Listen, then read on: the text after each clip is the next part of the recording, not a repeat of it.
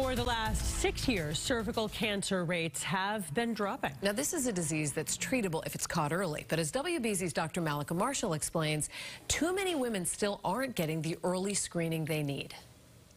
When Nora Lindo Salmon started feeling intense abdominal pain last year, she went to the doctor. The mother and grandmother learned she had advanced cervical cancer. They said, I have cancer. And I said, I don't believe it's still cancer. The Jamaica native had not received regular gynecological exams. Unfortunately, though, many women, especially underserved women, um, have not seen physicians and they don't get regular screening. Dr. Stella Lymberis is a radiation oncologist at NYU Langone Perlmutter Cancer Center. She says cervical cancer is treatable if detected early.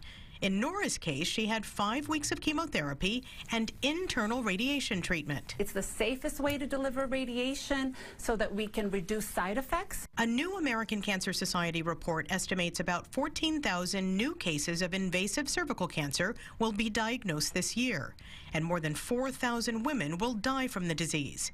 Death rates have dropped significantly with increased use of the Pap test, and the report shows a 65% reduction in cervical cancer rates in women in their early 20s.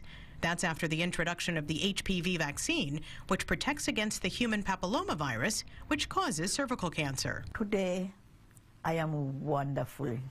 I'm feeling wonderful. Nora finished her treatment in June and is currently disease free. She's now encouraging women to get their annual exams and screening. The American Cancer Society says higher HPV vaccination rates have the potential to virtually eliminate cervical cancer. I'm Dr. Mallika Marshall, WBZ News.